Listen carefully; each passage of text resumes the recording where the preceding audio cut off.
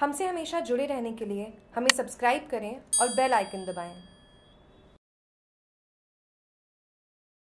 विधानसभा चुनाव को लेकर की वाहनों की चेकिंग विधानसभा चुनाव को मद्देनजर रखते हुए पुलिस प्रशासन सतर्क हर चौराहे पर हो रही वाहनों की चेकिंग वहीं बुधवार को स्थिति निगरानी दल के मजिस्ट्रेट राज भवराइन सहायक अभियंता जवाई खंड ने बताया कि विधानसभा चुनाव को लेकर सुमेरपुर विधानसभा क्षेत्र में तीन स्थिति निगरानी दल और तीन उड़न दस्ता